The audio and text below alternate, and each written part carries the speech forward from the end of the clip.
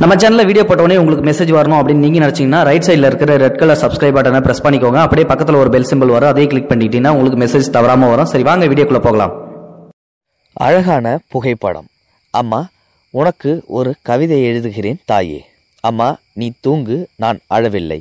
நீ என் தூக்கத்துக்காக உன்னுடைய தூக்கத்தை மறந்தவள். உனக்காக நான் இன்று தூங்கவில்லை. நீ தூங்கு தாயே. பத்து மாதம் பத்திரமாக பாதுகாத்தாய்.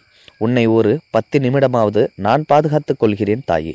சிரிப்புக்கும் அழுகைக்கும் அருகில் இருந்து சிரிக்கவும் முடியாமல் அழவும் முடியாமல் இருந்தவளே வலிக்கிறது எத்தனையோ நாட்கள் எனக்காக நீ கஷ்டப்பட்டது.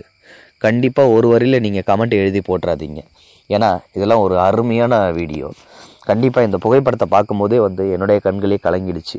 அம்மா அப்படின்றவங்க நமக்கு கடவுளுக்கும் மேலாக நம்மளை பாதுகாத்து நம்மளுடைய வாழ்நாள் முழுக்க கடைசி வரைக்கும் கூட வர்றவங்க அப்படிப்பட்ட அவங்கள நல்ல உள்ளம் படைத்த அவங்கள கண்டிப்பாக நம்மளோட வாழ்நாள் முழுக்க சந்தோஷமாக வச்சுக்கிறதுக்கு யூஸ் ஆகும் யூஸ் பண்ணணும்.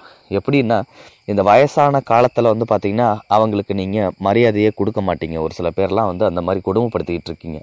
வயசு இருக்கிற வரைக்கும் அவங்க நம்மளுக்கு வேலை செய்கிற வரைக்கும் இப்போ அவங்களுக்கு மரியாதை கொடுக்கறது எல்லாம் போகிறது வர்றது எல்லாம் செய்வீங்க. அவங்க வயசான காலத்தில் முடியாத கடக்கும்போது தான் அவங்களோட அருமை தெரியாமல் உடனே உதாசனப்படுத்தி அவங்கள வந்து இழிவுபடுத்துறீங்க. அந்த மாதிரி செயலெல்லாம் செய்யக்கூடாது.